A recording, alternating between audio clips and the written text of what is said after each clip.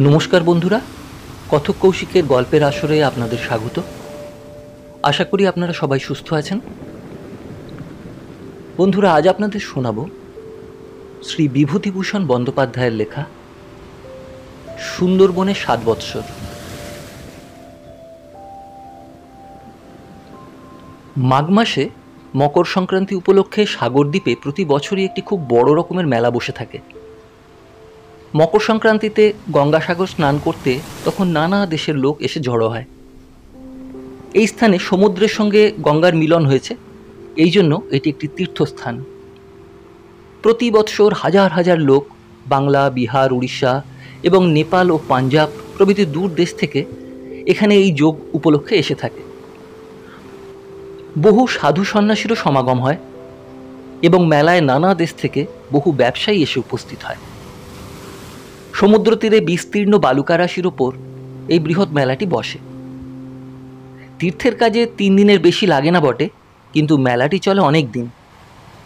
যাত্রীরা ভোরে উঠে সাগরে স্নান করে, তারপর পঞ্চরত্ন দিয়ে সাগরের পুজো করে কপিল মুনির মন্দিরে গিয়ে মুনির প্রতিমূর্তির দর্শন করে এবং সেখানেও পুজো দেয়।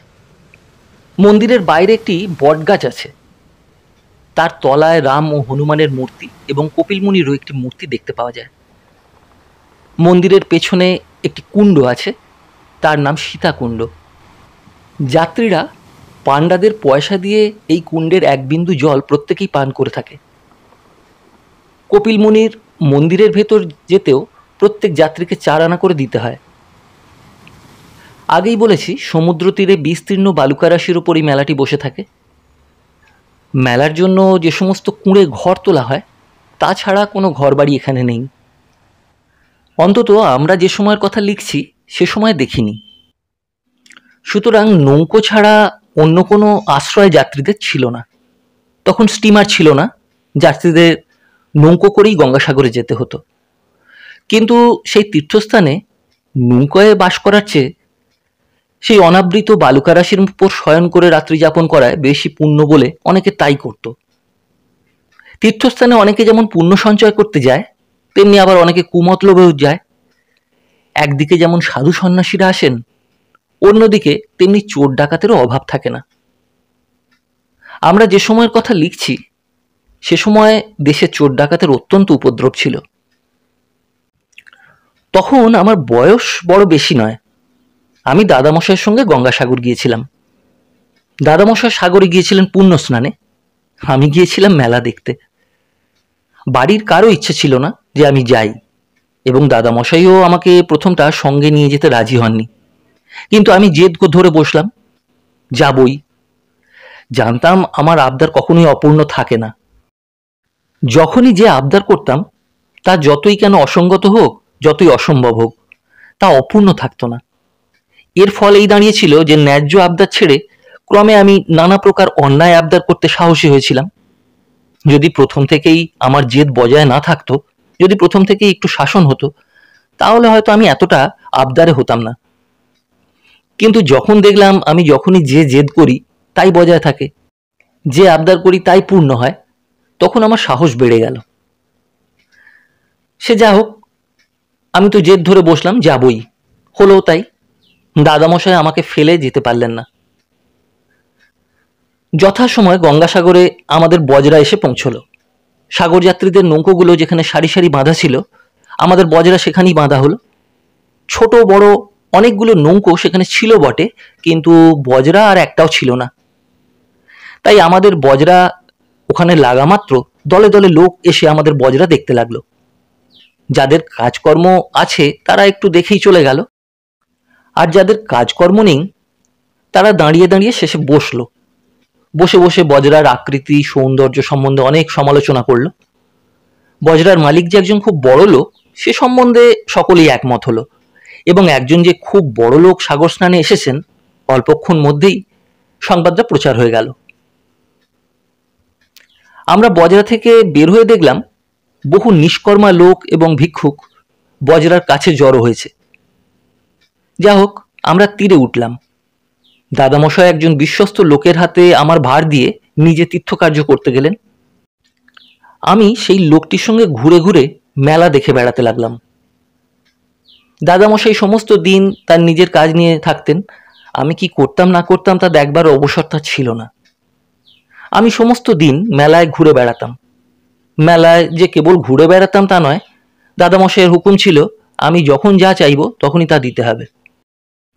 সুতরাং আমার খুব মজা। আমি নাগরদোলায় চড়তাম, যা খুশি কিনতাম, তিন দিন কি আনন্দেই না কাটিয়েছিলাম। কেবল সেই তিন দিনের মধ্যে মেলায় যে সমস্ত জিনিস এসেছিল, এটা ওটা করে তার প্রায় সমস্ত জিনিসেরই অন্তত একটি করে আমি সংগ্রহ করে নিয়েছিলাম। আমার চলাফেরা এবং ভাবগতিক দেখে সবাই আমাকে লক্ষ্য করত এবং অনেক নিষ্কর্মা লোক আমার সঙ্গে সঙ্গে ঘুরত। আমরা যেদিন সেখানে পৌঁছলাম, তার পরদিন থেকেই দেখলাম মগের মতো চেহারা একটা লোক। প্রায় সমস্ত দিনই আমাদের সঙ্গে সঙ্গে ঘুরল। কিন্তু সেই লোকটা অন্যান্য লোকের মতো আমাদের কাছে কাছে বড় একটা থাকেনি এবং কোনো কথাও আমাদের জিজ্ঞাসা করেনি। দূরে দূরে থেকে আমাদের লক্ষ্য করছিল। পরদিন আমরা মেলায় গিয়ে সে লোকটাকে আর দেখতে পেলাম না। কিন্তু একটা মগ বালক সেদিন আমার সঙ্গ নিল। সে ছিল আমার সমবয়সী। সুতরাং অতি অল্পকালের মধ্যেই তার সঙ্গে আমার বেশ ভাব হয়ে গেল। মেলায় বেড়াতে বেড়াতে সে সেই স্থানের অনেক বিবরণ আমাকে দিল, অনেক গল্প করল এবং আমাদের বাড়িঘরের কথাও জিজ্ঞাসা করল। ছেলেটিকে আমি মেলা থেকে কয়েকটা জিনিস কিনে দিলাম এবং সন্ধ্যার সময় বজরায় ফিরলাম। মনে পড়ে ছেলেটি আমার সঙ্গে সঙ্গে বজরা পর্যন্ত এসেছিল। আমি বজরায় উঠলে সে ফিরে যায়। এই মগ ছেলেটির ওপর আমার কেমন একটু মায়া হয়েছিল। আমি বজরার ভেতরে গিয়ে সে চলে গেছে কিনা দেখবার জন্য তীরের দিকে তাকালাম। তাকিয়ে দেখি সেই বালকটি তীরের কিছু দূরে আগের দিনের সেই লোকটার সঙ্গে দাঁড়িয়ে কি যেন কথা বলছে। মগ বালকটার উপর সেদিন আমার যেমন একটু মায়া হয়েছিল, আর সেই লোকটার প্রতি তেমনি আগের দিন আমার একটা কেমন বিরক্তি ভাব জন্মেছিল। তাই সেই মগ বালকটিকে লোকটার সঙ্গে কথা বলতে দেখে আমার কেমন যেন ভালো বোধ হলো না। যা হোক, পরদিন সকালবেলায় আমাদের বাড়ি ফেরবার কথা। সুতরাং তার বন্দোবস্ত করতে লাগলাম। দাদামশাই সন্ধ্যার সময় এসে বলে গেলেন যে, তিনি সমস্ত রাত্রি কপিলমুনির মন্দিরে বসে জপ তপ করবেন। ভোরে বজরায় ফিরে আসবেন এবং তখনই বজরা খোলা হবে। সন্ধ্যার সময় আমাদের খাওয়া শেষ হলো এবং সমস্ত দিনের ক্লান্তির পর অল্পকালের মধ্যেই আমি ঘুমিয়ে পড়লাম। কতক্ষণ ঘুমিয়েছিলাম জানি না। হঠাৎ কি একটা শব্দে আমার ঘুম ভেঙে গেল। অন্ধকারে জেগে অকারণেই কেমন যেন একটু ভয় ভয় করতে লাগল।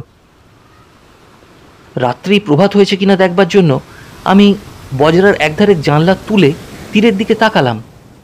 কিন্তু এ কি? তীর কোথায়? তাকিয়ে দেখলাম যত দূর দৃষ্টি যায় কেবল জল।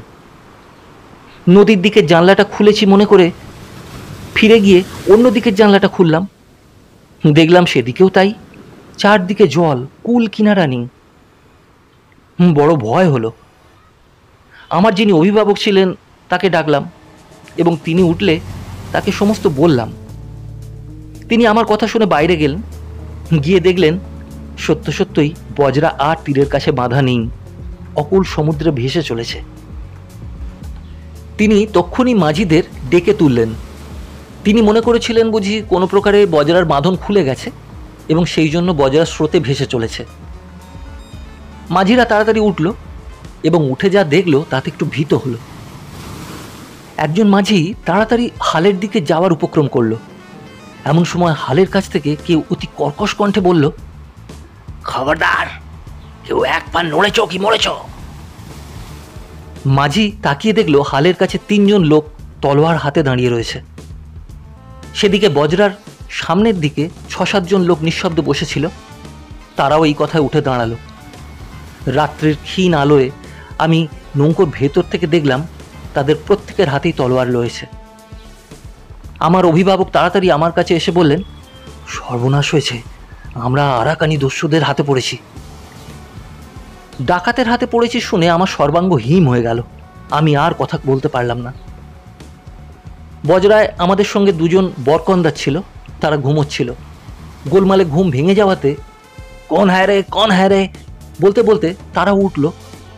উঠে যা দেখল, তাতে মুহূর্তের জন্য তারাও একটু থতমত খেয়ে গেল। কিন্তু সে মুহূর্ত মাত্র। পর মুহূর্তেই তারা তলোয়ার খুলে বজরার দরজা চেপে দুজনে দাঁড়িয়ে বলল, খবরদার, এদিকে এসো না। যতক্ষণ হাতে তলোয়ার আছে, ততক্ষণ কাসার দিনেই যে মনিবের চুলটিও স্পর্শ করে। আমাদের নৌকোয় ছজন মাঝি, দুজন বরকন্দাজ দুজন চাকর, আমার অভিভাবক ও আমি। এদিকে ডাকাতেরা প্রায় সাত আটজন বরকন্দাজের কথা শুনে একজন ডাকাত হো হো করে হেসে উঠল। অকুল সমুদ্রে রাত্রের নিস্তব্ধতার মধ্যে সেই বিকট হাসি আকাশে প্রতিধ্বনিত হলো। সে হাসিতে আমার বুকের রক্ত যেন শুকিয়ে গেল। পর মুহূর্তেই অস্ত্রের ঝনঝনা আমার কানে গেল। তাকিয়ে দেখি উভয় পক্ষে ঘোর যুদ্ধ আরম্ভ হয়েছে। দেখতে দেখতে বরকন্দাজদের তলোয়ারের আঘাতে দুজন দস্যু জলের মধ্যে পড়ে গেল। কিন্তু পর মুহূর্তেই আমাদের একজন বরকন্দাজও দস্যুদের হাতে প্রাণ হারালো। আমি ভয়ে একেবারে আড়ষ্ট হয়ে গিয়েছিলাম। তারপর আবার এই ভয়ানক দৃশ্য চোখের উপর দেখে আমার চোখ দুটো যেন বুঝে এলো। ক্রমে যেন চেতনা হারালাম। তারপর কি হলো, তার কিছুই জানতে পারলাম না। কতক্ষণ চেতনা শূন্য হয়ে পড়েছিলাম জানি না। যখন চেতনা হলো, তখন ধীরে ধীরে তাকালাম। তাকিয়ে দেখলাম, আমাদের সে বজরাও নেই, সঙ্গের লোকজনও নেই। একটা খোলা নৌকোর উপর আমি শুয়ে আছি। রাত্রি তখন প্রভাত হয়েছে। আমি ধীরে ধীরে নৌকোর ওপর উঠে বসলাম। উঠে দেখি একটি খালের মধ্যে দিয়ে নৌকোটা যাচ্ছে। দেখলাম এটি একটি ছিপ নৌকো। আর এটি বাই ছিল আট দশজন খুব বলিষ্ঠকায় লোক। কাজেই ছিপখানি তীর বেগে ছুটে চলেছে। রাত্রি ভোর হয়েছিল বটে, কিন্তু সেই খালের দুই কূলে এত ঘন জঙ্গল যে সূর্যের প্রখর কিরণও তার মধ্যে প্রবেশ করতে পারে না। আমি সেই স্বল্প আলোকে যা দেখলাম, তাতে বুঝতে পারলাম যে এরা গত রাত্রে সেই আরাকানি দস্যু দল আমাদের বজরা লুটপাট করে এরা আমাকে ধরে নিয়ে যাচ্ছে। আমি উঠে বসা মাত্র পেছন দিক থেকে কে একজন বলে উঠল কি গো বাবু, ঘুম ভাঙল? সেই কথায় পেছন ফিরে আমি দেখলাম, যে লোকটি মেলায় আমাদের সঙ্গ নিয়েছিল, এ সেই। তখন আমি সব বুঝতে পারলাম। মেলায় আমার চলাফেরা ভাবগতিক দেখে সকলেরই মনে হয়েছিল, আমরা খুব বড় লোক। এ লোকটাও তাই মনে করে আমাদের সঙ্গ নিয়েছিল এবং দূরে দূরে থেকে খোঁজখবর নিচ্ছিল। পরদিন যে মগ বালকটি আমার সঙ্গ নিয়েছিল এবং যাকে শেষে আমি এর সঙ্গে কথা বলতে দেখেছিলাম, সেও বোধ বোধহয় এদেরই লোক। এবং বোধহয় এই উদ্দেশ্যেই আমার সঙ্গে সঙ্গে সারা দিন ঘুরেছিল। তখন সেই মগ বালকটির সঙ্গে অত ভাব করেছিলাম বলে মনে মনে অনুতাপ হলো। সেই লোকটার কথায় কোনো উত্তর না দিয়ে আমি তাকে জিজ্ঞেস করলাম হ্যাঁ আমাদের বজরা কোথায়? আমাদের লোকজন কোথায়? তোমরা আমাকে কোথায় নিয়ে যাচ্ছ? যাব না আমি তোমাদের সঙ্গে। তোমরা আমাকে আমার সঙ্গীদের কাছে দিয়ে এসো। এই কথা শুনে ছিপের লোকগুলো সকলে একসঙ্গে বিকট রবে হেসে উঠল। সে হাসিতে আমি চমকে উঠলাম। তোমরা হয়তো মনে করছ, হাসির রবে আবার কে কবে চমকায়। কিন্তু তোমরা নিশ্চয়ই তেমন বিকট হাসি শোনোনি, তাই ও কথা মনে করছ। আমি তো বালক মাত্র। একটা হিংস্র জন্তু পর্যন্ত সেই হাসির আওয়াজে ভয় পালিয়েছিল।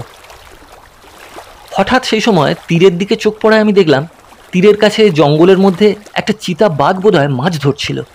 হঠাৎ সেই বিকট হাসির রবে চমকে উঠে সে দৌড়ে চলে গেল। যা হোক, লোকটা আমাকে বলল, তোমাদের বজরা এবং লোকজন এতক্ষণ জলের নিচে বিশ্রাম করছে। সেখানে যাওয়ার চেয়ে বোধ হয় আমাদের সঙ্গে যাওয়াটা মন্দ নয়। আর কেই বা তোমাকে সেখানে দিয়ে আসতে যাবে? কি বলো? বুঝলাম। ডাকাতেরা আমাদের সঙ্গের লোকজনকে হত্যা করে বজরা সমেত সমুদ্র জলে ডুবিয়ে দিয়েছে। প্রথম প্রথম আমার মনে খুব ভয় হয়েছিল বটে, কিন্তু যখন শুনলাম যে ডাকাতেরা আমাদের বজরা ডুবিয়ে দিয়েছে, লোকজনকেও হত্যা করে ফেলেছে, যখন দেখলাম আমি সম্পূর্ণরূপে এদের হাতে পড়েছি, তখন আমার ভয় একেবারে চলে গেল। বিপদে পড়বার ভয়ই লোকে ভয় পায়, কিন্তু বিপদের মধ্যে পড়লে তখন আর সে ভয় থাকে না। আমারও তাই হলো।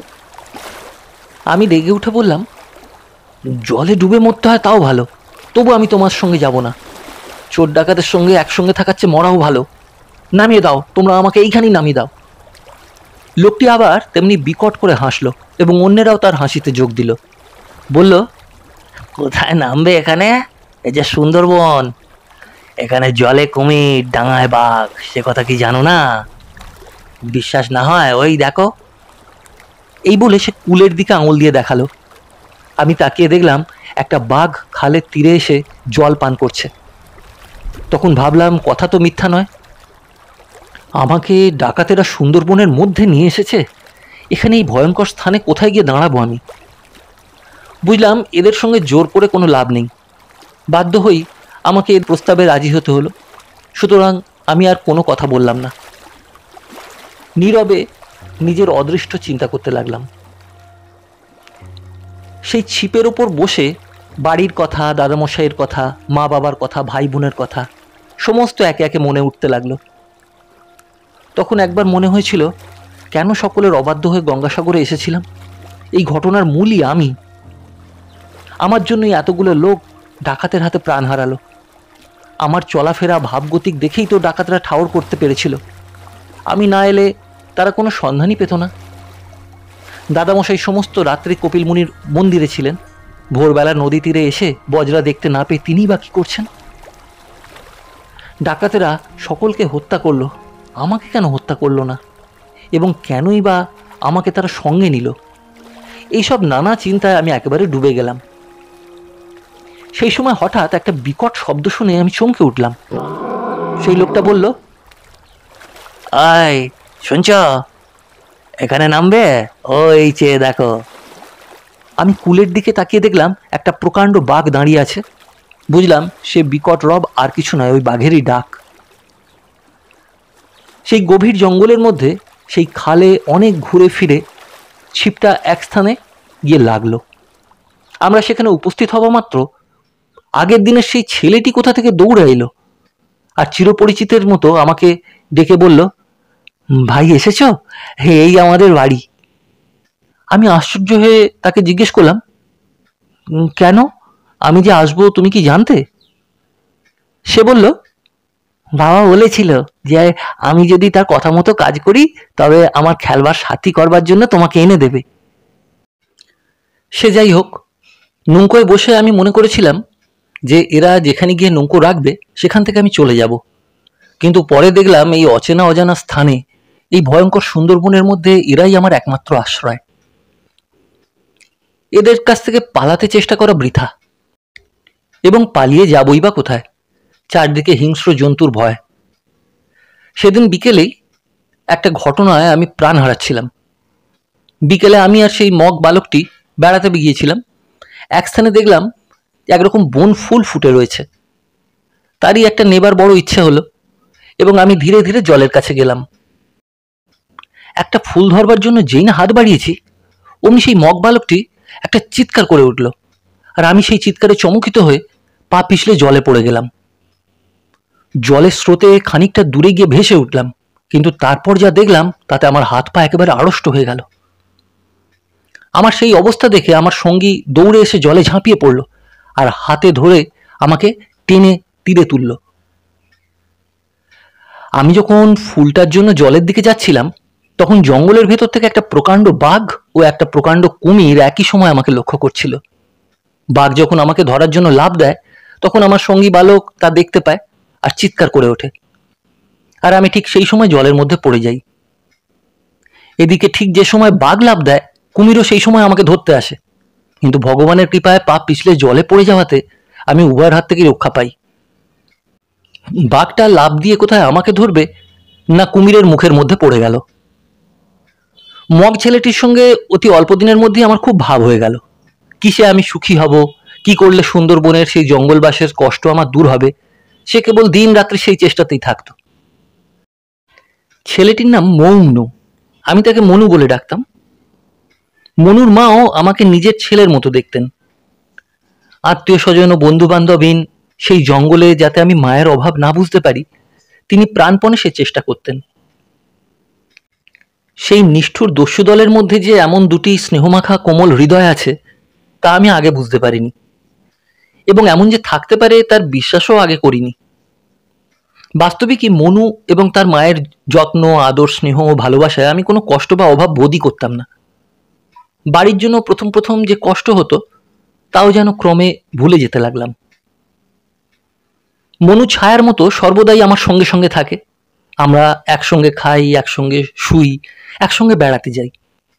মনুর বুদ্ধি বেশ তীক্ষ্ণ ছিল এবং সে আমার সমবয়স্ক ছিল। আমার বয়স তখন তেরো বৎসর। ইংরেজিতে আমি যে সকল বাঘভালুকের গল্প পড়েছিলাম, মনুকে তা বলতাম। তাছাড়া রামায়ণ মহাভারতের গল্প তাকে শোনাতাম। খেলা করা, গল্প করা এবং খিদের সময় খাওয়া, এছাড়া আর আমাদের কোনো কাজ ছিল না। মনু ও সুন্দরবনের বাঘ ভালুকের অনেক গল্প আমাকে শোনাতো।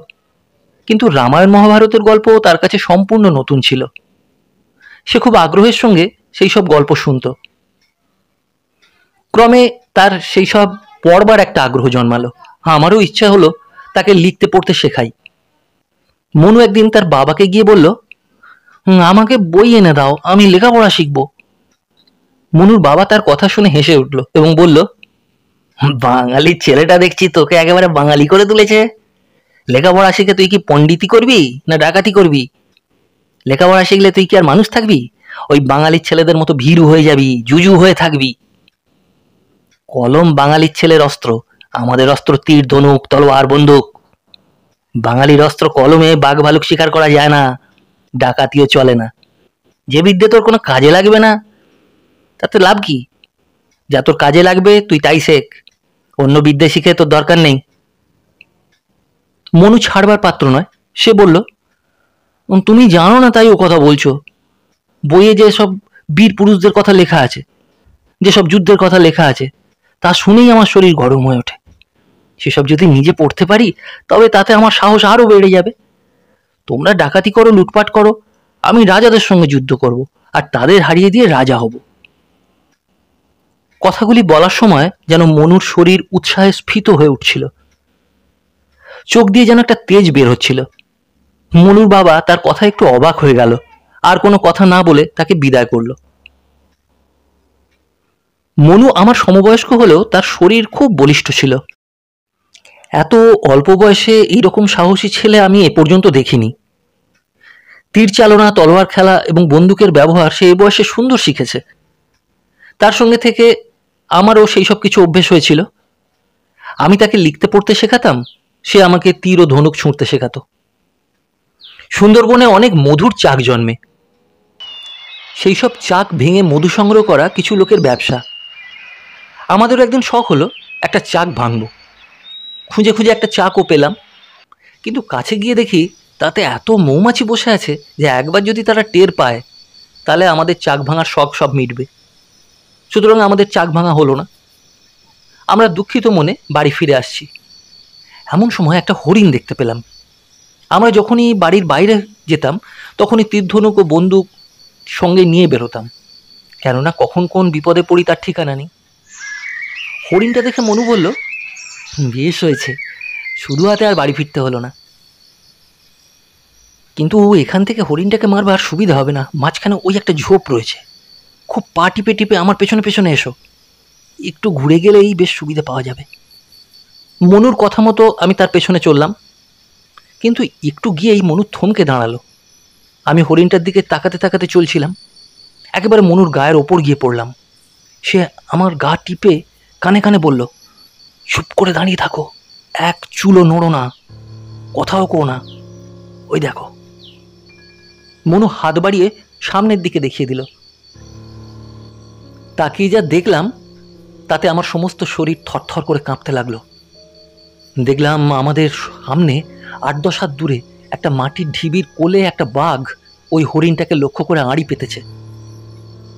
আমার বাকরোধ হয়ে গেছিল, না হলে হয়তো চেঁচিয়েই উঠতাম। আর তাহলে আমাদের যে দশা হতো, তা তো বুঝতেই পারছ। মনুর দেখলাম অসীম সাহস। সে এক হাতে আমাকে আর এক হাতে বন্দুকটা নিয়ে স্থির হয়ে এক দৃষ্টে বাঘের দিকে তাকিয়ে রয়েছে। বোধ হলো তার নিঃশ্বাসও পড়ছে না। বাঘটা প্রকাণ্ড অত বড় একটা জানোয়ার চলছে, অথচ একটু শব্দ হচ্ছে না। এও বড় আশ্চর্য বোধ হলো। পরে জানতে পারলাম যে কি জন্য ওরা এত নিঃশব্দে চলতে পারে।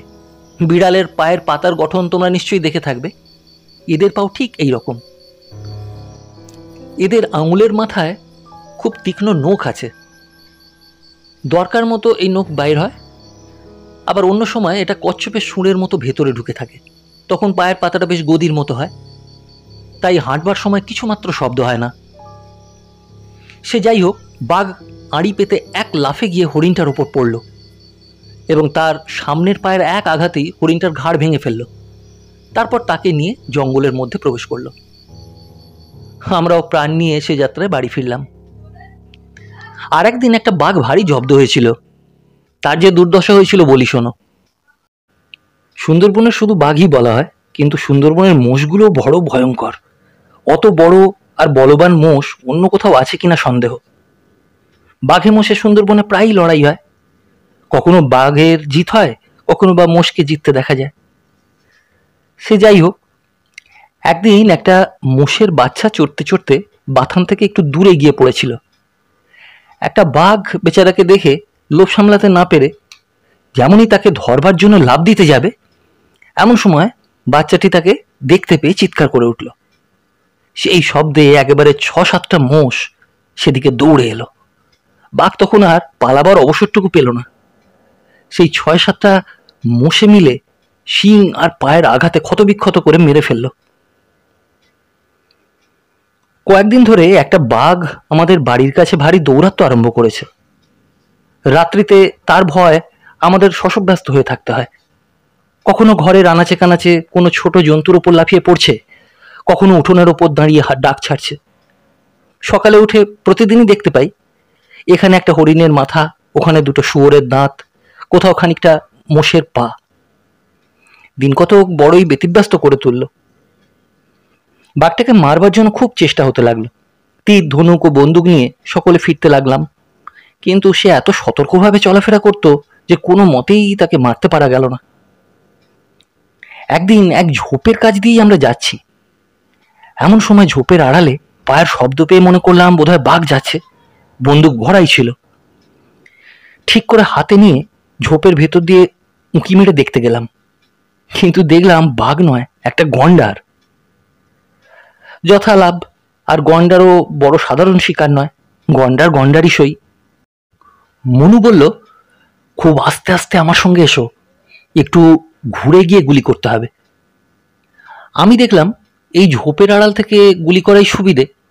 আমরা গন্ডারটিকে বেশ দেখতে পাচ্ছি। অথচ সে আমাদের দেখতে পাচ্ছে না। কোনো বিপদের আশঙ্কা নেই। নির্বিঘ্নে গুলি করা যাবে। মনুকে সে কথা বলায়, সে বলল, সে কি তুমি কি জানো যে গন্ডারের চামড়া এত পুরু যে তাতে গুলি বসে না? এখান থেকে ওর শরীরের একটা পাশ দেখা যাচ্ছে। গুলি করলে সেগুলি ওর গায়ে লাগবে না। অথচ বন্দুকের আওয়াজে শিকার পালাবে। গন্ডারকে মারতে হলে ওর নাকের ভেতর দিয়ে গুলি করতে হবে। কাজেই ঘুরে সামনের দিকে না গেলে ওকে মারতে পারা যাবে না। এই বলে মনু আগে চলল। আমিও তার সঙ্গে সঙ্গে গেলাম এবং এমন একটা জায়গায় গিয়ে দাঁড়ালাম যেখান থেকে গন্ডারের নাকটা বেশ লক্ষ্য হয়। তখন মনু আমাকে গুলি করতে বলল। অত বড় একটা জানোয়ার শিকার করে একটু যশলাভ করার ইচ্ছা আমার যে একেবারে হয়নি তা নয়, কিন্তু আমার হাত তখনও অভ্যস্ত হয়নি।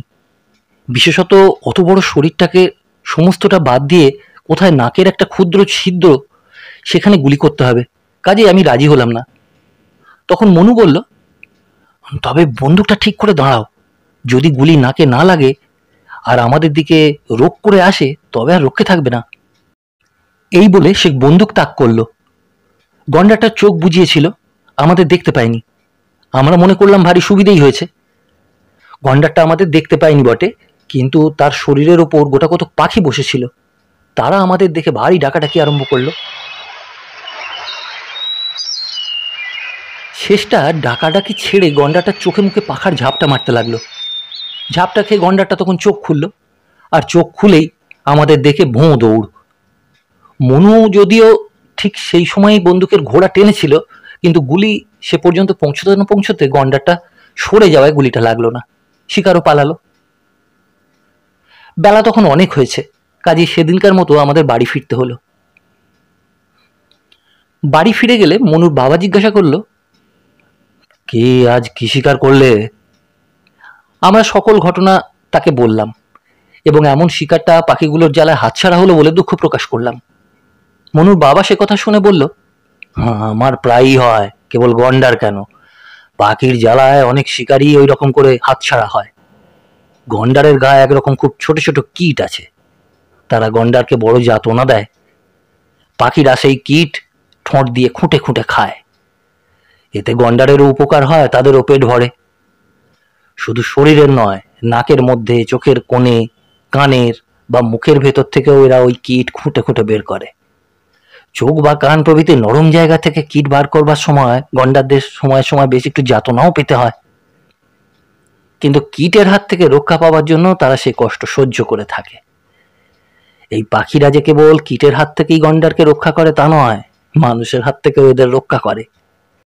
যখনই গন্ডারের কোনো বিপদ দেখে, তখনই এরা খুব চিৎকার আরম্ভ করে, আর তাতেই গন্ডারের হুঁশ হয়, গন্ডার তখন বিপদ বুঝতে পেরে পালায়। গরু মোষ প্রভৃতির গায়ে ও মাথায় বসে এরকম পাখিকে তোমরা ঠোকরাতে দেখে থাকবে, তাদেরও ওই কাজ। গরু বা মোষের গায়েও একরকম কীট আছে, তারা এদের বড় কষ্ট দেয়। পাখিরা ওইসব কীট ঠুকরে খায় এবং কোনো বিপদের আশঙ্কা দেখলে তারা ওই রকম করে গরু, মোষ প্রভৃতিকেও সতর্ক করে দেয়। এ তো গেল গরু, মোষ, গন্ডার প্রভৃতির কথা। পাখিদের ঠোকরা নিতে এরা ব্যথা পেলেও তাদের কিছু বলে না। আর কিছু করবার ক্ষমতাও তাদের বড় একটা নেই। পিঠের ওপরে বসে ঠোকরাচ্ছে, ব্যথা ফেলে বড় জোর একবার শিং নাড়া দেবে। আর তখনই পাখিরা উড়ে সরে যায়। শিং নাড়াই সার। যেখানে বিপদের বিলক্ষণ আশঙ্কা আছে, সেখানেও পাখিদের খুব যেতে দেখা যায়। একবার আমি দেখলাম জলার ধারে একটা প্রকাণ্ড কুমির চোখ বুজে হাঁ করে বেশ স্থিরভাবে পড়ে আছে। আমি মনে করলাম, বেশ সুবিধেই হয়েছে। হাঁ করে আছে? ঠিক মুখের ভেতর গুলিটা চালিয়ে দিলেই কাজ হবে। এই ভেবে যেমন বন্দুক তুলেছি, অমনি কতকগুলো পাখি ভারী ডাকাডাকি আরম্ভ করল। কুমিরটা সেই ডাকে চোখ খুলেই মুহূর্তের মধ্যে জলে ঝাঁপিয়ে পড়ল। আমার আর গুলি করা হলো না। কুমিরের দাঁতের ভেতরে একরকম কীট জন্মায়। সেই কীটের জ্বালায় দাঁতের গোড়া ফুলে কুমিরকে এক এক সময় ভারী কষ্ট পেতে হয়। তাই প্রায় সন্ধ্যায় তাদের দেখতে পাওয়া যায়, জলের ধারে কুমির হাঁ করে পড়ে আছে আর এক জাতীয় পাখি নিঃসংকোচে, নির্ভয় তার সেই মুখের ভেতর দিয়ে দাঁতের ভেতর থেকে পোকাগুলো খুঁটে খুঁটে বের করছে। এমন ঘণ্টার পর ঘণ্টা চলে যাচ্ছে। কুমির হাঁ করেই আছে। পাখিরাও ঘুরে ফিরে পোকা খুঁজে বেড়াচ্ছে। কুমির বিলক্ষণ হিংস্র জন্তু। যখন হাঁ করে থাকে, তখন এক একবারে চার পাঁচটার বেশি পাখি তার মুখের মধ্যে যায়। ইচ্ছে করলে একবার মুখ বন্ধ করলেই পাখিগুলো উদার সাথ হয়। কিন্তু যারা তাদের এত উপকার করে, যারা দাঁতের পোকা ভালো করে দেয়, তাদের সঙ্গে তারা এমন অধর্ম করে না। তবে কখনো কখনো এমন হয় যে, খুব বেশিক্ষণ হাঁ করে থাকতে থাকতে ক্লান্ত হয়ে হয়তো হঠাৎ মুখ বন্ধ করে বসে। তখন যদি কোনো পাখি বেরুতে না পেরে মুখের ভেতর আটকে যায় তবে সে এমন জোরে ঠোঁট দিয়ে মুখের ভেতর আঘাত করতে থাকে যে কুমিরকে বাপের সুপুত্তর হয়ে তখনই আবার হাঁ করতে হয়। সে যা হোক, কথায় কথায় আমরা আসল কথাই ভুলে যাচ্ছি। বাঘটা তো এ পর্যন্ত কোনো মতেই মারা পড়ল না, কিন্তু একদিন ভারী মজা হলো। সকালবেলা বাঘের ভয়ানক ডাকে আমাদের ঘুম ভেঙে গেল। আমি তো চমকে উঠলাম। উঠে শুনলাম মনুর বাবা বলছে আপদ চুকেছে, বাঘ ফাঁদে পড়েছে। তখন আর কালবিলম্ব না করে তীর, ধনুক, বন্দুক ও লাঠি সব নিয়ে সবাই বেরিয়ে পড়ল। আমরাও সঙ্গে গেলাম। বাঘটাকে মারবার জন্য যেমন সকলে বন্দুক ও তীর, ধনুক নিয়ে বেড়াতো, তেমনি এক জায়গায় জাল দিয়ে একটা ফাঁদও পেতে রাখা হয়েছিল। অনেক সময় এইসব ফাঁদে বাঘ ধরা পড়ে। আমরা গিয়ে দেখলাম, আমাদের সেই জালে বাঘটা ধরা পড়ে ভয়ানক তর্জন গর্জন করছে আর জাল ছিঁড়ে বার হবার জন্য খুব লম্ফঝম্প করছে। কিন্তু বড় বেশিক্ষণ লম্ফঝম্প করতে হলো না। জালের মধ্যে বেশ কিছুক্ষণ রাখাটা নিরাপদ নয় বলে তখনই গুলি করে তাকে মেরে ফেলা হলো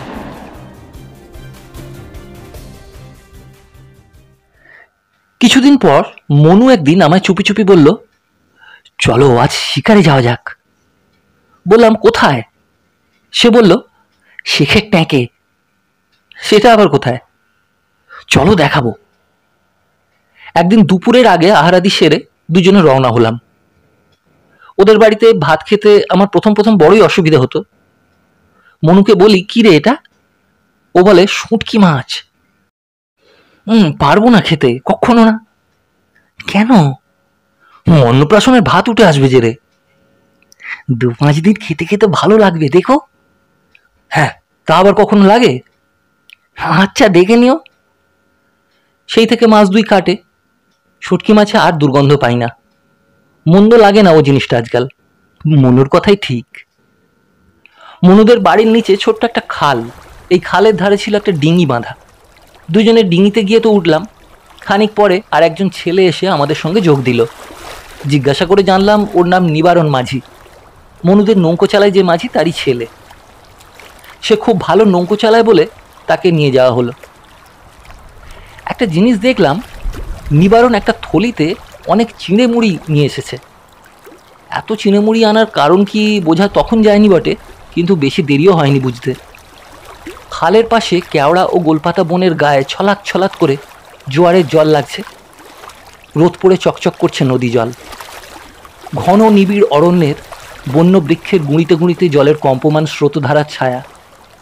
আমার মনে চমৎকার একটা আনন্দ, মুক্তির একটা আনন্দ, যা ঠিক ব্যাখ্যা করতে পারব না। দাদামশাইয়ের সঙ্গে সুন্দরবন না এলে এই আনন্দ পেতাম কি? ছিলাম ক্ষুদ্র গৃহকোণে আবদ্ধ তেরো বছরের বালক। বিশাল পৃথিবীর বুকে যে কত আনন্দ, কি যে তার মুক্তিরূপা মহিমা, আমার কাছে ছিল অজানা। নিবারণ অনেক দূরে নিয়ে এসেছে। বনের প্রকৃতি এখানে একটু অন্যরকম। বনের দিকে তাকিয়ে দেখি একটা গাছে অনেক বাতাবি লেবু ফলে আছে, ডাঙার খুব কাছে। বললাম নিবারণ নিবারণ। থামাও না ভাই, এই দেখো। নিবারণ ডিঙি ভালো করে না থামিয়েই ডাঙার দিকে তাকিয়ে বলল, কি? ওই দেখো, পাকা বাতাবি লেবু। না বাবু। ওই যে, দেখো না। মনু, চেয়ে দেখ না ভাই। নিবারণ হেসে বলল, একটা খেয়ে দেখবে বাবু। কেন? ওকে বলে পশুর ফল, পাখিতে খায়। মনুও হেসে নিবারণের কথা সায় দিল। খালের মুখ দিয়ে একটা বড় নদীতে পড়ল, তার অপর পাড় দেখা যায় না। এইবার আমাদের ডিঙি সামনের এই বড় নদীতে পড়বে। নদীর চেহারা দেখে আমার বুকের মধ্যে কেমন যেন পড়ে উঠল। এত ঢেউ কেন এ নদীতে? বললাম, এ কি নদী রে ভাই? নিবারণ এ অঞ্চলের অনেক খবর রাখে। সে বলল অসর নদী, খুলনা জেলার বিখ্যাত নদী, হাঙর, কুমিরে ভরা, শিবসা আর পশর যেখানে মিশেছে, সে জায়গা দেখলে তো তোমার দাঁত লেগে যাবে ভাই। খুব বড় সাগরের মতো। চলো, সেখানে একটা জিনিস আছে। একদিন নিয়ে যাব। কি জিনিস? এখনও বলব না। আগে সেখানে নিয়ে যাব একদিন। এইবার পশর নদীতে আমাদের ডিঙি পড়ে পুল থেকে ক্রমশ দূরে চলতে লাগল। খানিকটা গিয়ে হঠাৎ নিবারণ দাঁড় ছেড়ে দাঁড়িয়ে উঠে বহু দূরে ওপারের দিকে চেয়ে বলল, কি ওটা? মনু বলল, কই দেখি। ওই দেখো, একটু একটু দেখা যাচ্ছে। ভালো দেখা গেল না কি বস্তু? কি জিনিস ওটা? আমিও ততক্ষণে ডিঙির ওপর দাঁড়িয়ে উঠেছি। ভালো করে চেয়ে দেখলাম বটে, কিন্তু কিছু দেখা গেল না। নিবারণ নদীতে পাড় দিতে দিতে প্রায় মাঝখানে এলো। এবার বেশ দেখা যাচ্ছিল ব্যাপারটা কি। এক পাল হরিণ কেওড়া বনে জলের ধারে চড়ছে। একটা হরিণ কেওড়া গাছের গুঁড়ির গায়ে সামনের দুপা উঁচু করে গাছের ডালের কচি পাতা চিবোচ্ছে। কি সুন্দর ছবিটা। নিবারণ মনুকে বলল, ভাই আর যাত্রাও আলো। এই হরিণের পালের মধ্যে একটাও মারা পড়বে না। এক একটাতে এক মন মাংস। দু মন মাংসওয়ালা হরিণও আছে ওর মধ্যে। মনু বলল চলো। নিবারণ বলল, শক্ত করে হাল ধরতে যদি না সাহস করো, তবে তুমি দাঁড় নাও। এর নাম পশর নদী। খুব সাবধান এখানে। আমি সভয় বললাম দে মনু, ওর হাতে হাল দে। মনু নির্ভয় কণ্ঠে বলল, মগের ছেলে অত ভয় করে না। হাল ধরতে পারব না তো কি? খুব পারব, টানো দাঁড়। অত বড় নদীতে পার দিতে অনেকক্ষণ লাগল। আমরা যেখানে নামলাম, সে জায়গাটা একেবারে জনহীন অরণ্য। একটু দূরে একটা ছোট খাল জঙ্গলের মধ্যে ঢুকেছে। তীরে গোলপাতা ও বেতের ঝোপ। কোথায় হরিণ? সব সরে পড়েছে। মনু ছাড়বার পাত্র নয়। সে নৌকো থামিয়ে আমাদের সঙ্গে করে ডাঙায় নামলো। বলল, চলো, জঙ্গলের মধ্যে এগিয়ে দেখি। নিবারণ হরিণের পায়ের দাগ অনুসরণ করে অনেক দূর নিয়ে চলল আমাদের। এক জায়গায় কি একটা সরু ছুঁচলো জিনিস আমার পায়ে ঢুকে যেতেই আমি বসে পড়লাম। ভয় হলো, সাপে কামড়ায়নি তো? নিবারণ ছুটে এসে আমাকে তুলে দাঁড় করালো। বলল ইয়ে রক্ত পড়ছে যে শুলো ফুটেছে দেখছি। সাবধানে যেতে হয় জঙ্গলের মধ্যে। শুলো কি? গাছের শেকড় উঁচু হয়ে থাকে কাদার ওপরে তাকে শুলো বলে। মনু বলল হ্যাঁ আমার বলতে ভুল হয়ে গিয়েছিল। শুলোর জন্য একটু সাবধানে হেঁটো জঙ্গলে। জঙ্গলের শোভা সে স্থানটাকে খুব মনোহর করেছে। কেওড়া ও গরান গাছের মাথায় একরকম কি লতার বেগুনি ফুল। বড় গাছে এক প্রকারের সাদা ফুল। জোয়ারের জল নেমে শুলোর দল কাদার উপর মাথা তুলে সারবন্দি বর্ষার ফলার মতো খাড়া হয়ে আছে। কুস্বরে কি একটা পাখি ডাকছে গাছের মগ ডালে। নিবারণ থমকে দাঁড়িয়ে বলল, দাঁড়াও দাঁড়াও। মাছ জটা ডাকছে। কাছেই বাঘ আছে কোথাও। ওরা হরিণদের জানিয়ে দেয় ডাক দিয়ে। বাড়ি চালাক পাখি। মনু বলল, বাঘ নয়, মানুষ বাঘা মানে আমরা। হ্যাঁ তাও হতে পারে। এ ত্রিসীমায় নয় হরিণ থাকবে না আর। আমি বিস্ময়ের সুরে বললাম, সত্যি? নিবারণ বলল, দেখো, ও আমার কতবার পরক করা। এসব বনে অদ্ভুত জিনিস আছে। একরকম গুবড়ে পোকা আছে, তাদের গা অন্ধকারে জলে। হাঙুড়ের শিঙি মাছ আছে। কাঁটা হেনে তোমার সমস্ত শরীর অবশ করে দেবে। নিবারণের কথাই ঠিক, আমরা খালের পাড় পর্যন্ত খোঁজ করেও হরিণের দলের কোথাও সন্ধান পেলাম না। এক জায়গায় কাদার ওপর মোটা কাঠের গুঁড়ি টেনে নিয়ে যাওয়ার ডাক দেখতে পেয়ে নিবারণ ও মনু একসঙ্গে ভয়ের সুরে বলল, ওরে বাবা, এ কি? তাকিয়ে দেখে কিছু বুঝতে না পেরে বললাম, কি এটা? নিবারণ বলল বড় অজগর সাপ এখান দিয়ে চলে গিয়েছে। এটা তারই দাগ। একটু সাবধানে থাকবে সবাই। অজগর বড় ভয়ানক জিনিস। একবার ধরলে এর হাত থেকে আর নিস্তার নেই। বলতে বলতে একটা কেওড়া গাছের দিকে উত্তেজিতভাবে হাঙুল দেখিয়ে বলতে লাগল, ওই দেখো, চট করে এসো। দেখি এক বিরাটকায় সাপ কেওড়া গাছের ডালে ল্যাজ জড়িয়ে নিশ্চলভাবে খালের জলের হাত চারেক ওপরে ঝুলে আছে। সাপের গায়ের রং গাছের ডালের রঙের সঙ্গে মিশে এমন হয়ে আছে যে সাপের দেহটাকে মোটা ডাল বলে ভুল হওয়া খুব স্বাভাবিক। নিশ্চল হয়ে থাকার জন্য এরকম ভুল না হয়ে উপায় নেই। আমি কি বলতে যাচ্ছিলাম? নিবারণ বলল, একদম চুপ। কি? দেখো না, চুপ। আমরা গাছের গুঁড়ির আড়ালে নিষ্পন্দ অবস্থায় দাঁড়িয়ে, নিবারণ আমাদের আগের দিকে। কি হয় কি হয় অবস্থা? মনু হয়তো কিছুটা বোঝে, আমি নতুন লোক কিছুই বুঝি না, কি ব্যাপার? ঘন্টাখানেক এভাবে কাটলো। আমি বিরক্ত হয়ে উঠলাম। কতক্ষণ এভাবে থাকা যায়? কেনই বা এখানে খাড়া হয়ে আছি কাঠের পুতুলের মতো? সাপের দেহ আমাদের মতো নিশ্চল। গাছের ডাল নড়ে, কিন্তু সাপ নড়ে না। এমন সময় একটা আশ্চর্য কাণ্ড ঘটল। আজও সে ছবি আমার চোখের সামনে ভাসছে। একটা বড় শিঙেল হরিণ বেদঝোপের পেছন থেকে সন্তর্পণে খালের দিকে আসতে লাগল। পেটঝোপের ডান দিকে একটা ছোট হেঁতাল গাছ তারপরেই বড় গাছটা, যার ডালে সাপটা ঝুলছে। হরিণটা একবার আসে, শুকনো পাতার মচমচ শব্দ হয়, আবার খানিকটা দাঁড়ায়, আবার কি শোনে, আরও একটু আসে।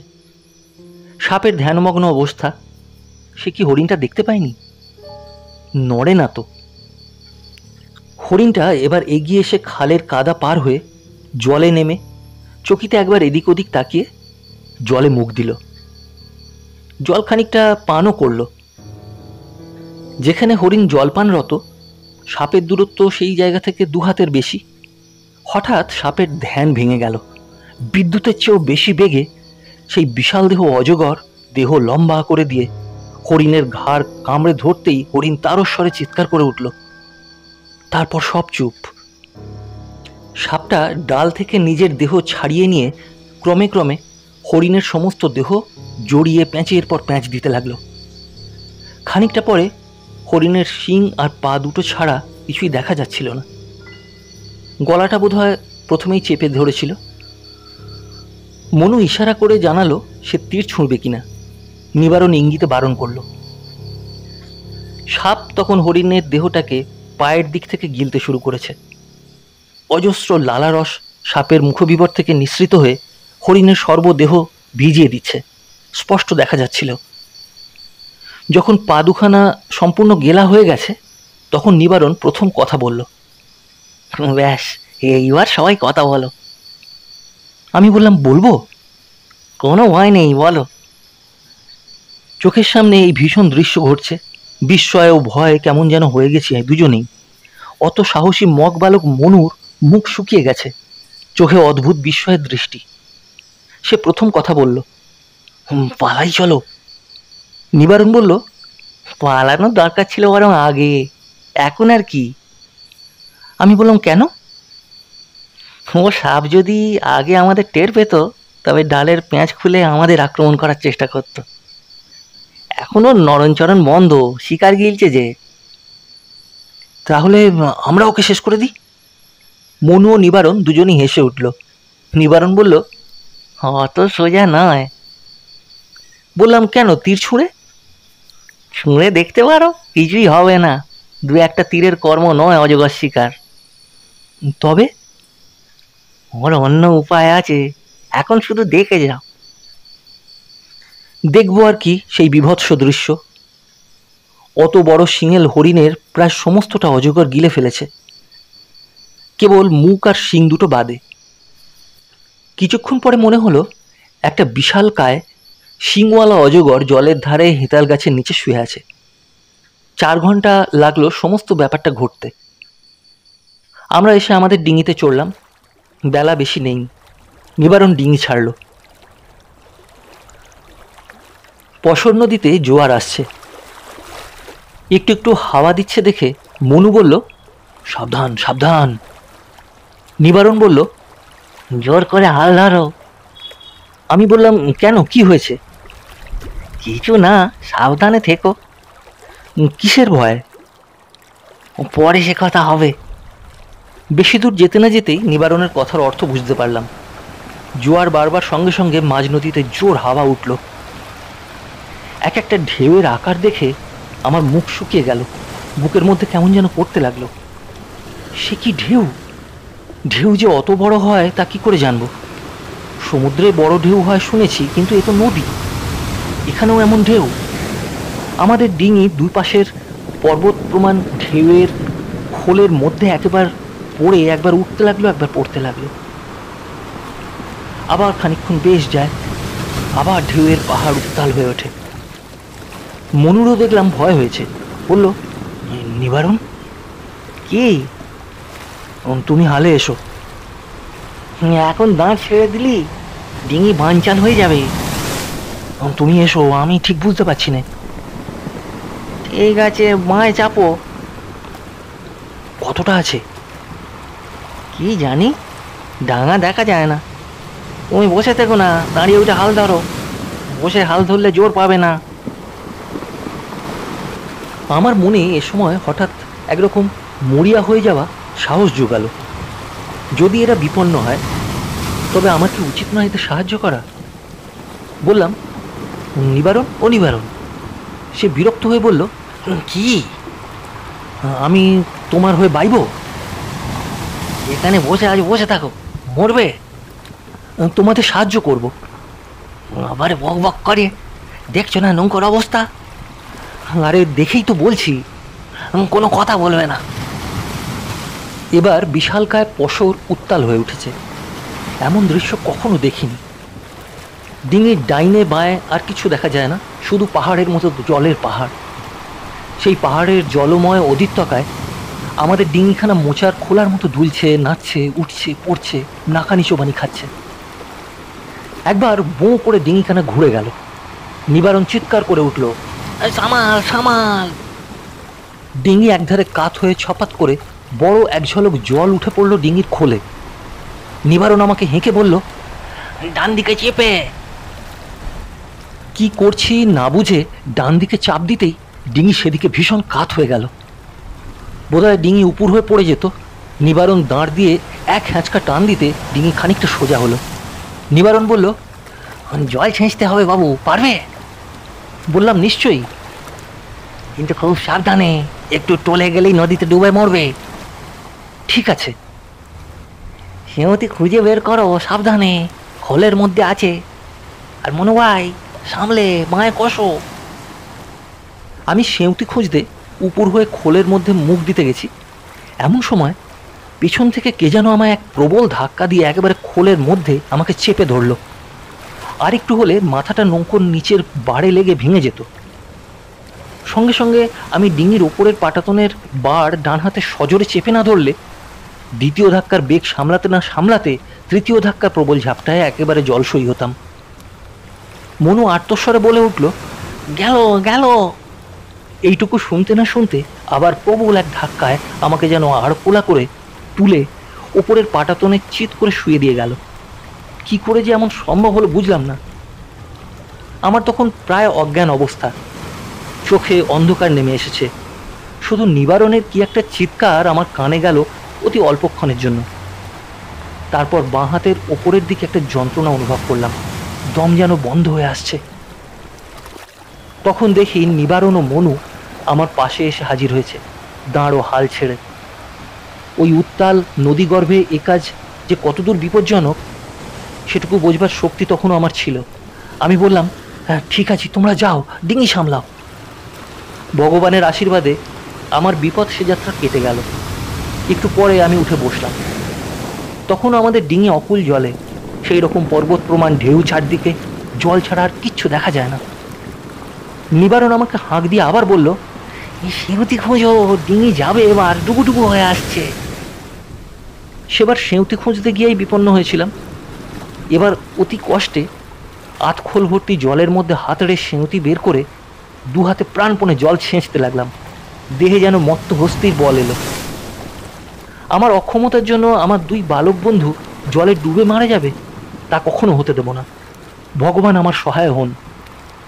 অনেকখানি জল ছেঁচে ফেললাম। সেই অবস্থাতেও আমার ঘাম বের হয়ে গেছিল। ভগবান আমার প্রার্থনা শুনলেন। ডিঙি অনেকটা হালকা হয়ে গেল। মনু বা নিবারণ কেউ কথা বলেনি।